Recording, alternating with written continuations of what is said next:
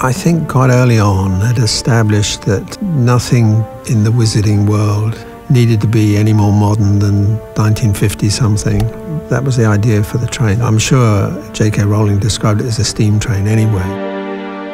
We went on a search. There are various preservation societies around the country. There's one at Carnforth near Preston in Lancashire, and there we found the Hogwarts Express.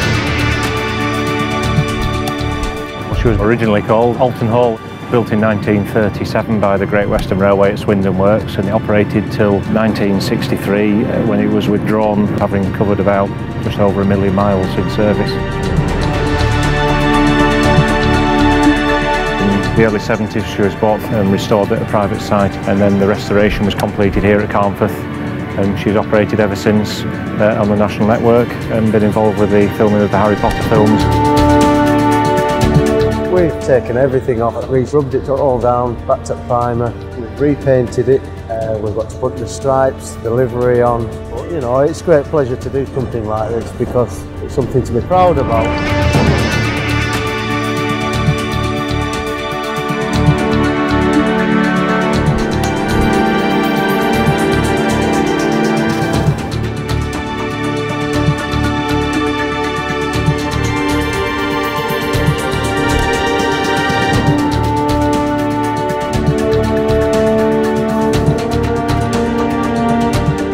It's an important ingredient in the tour. It's the link between the two ends of the story.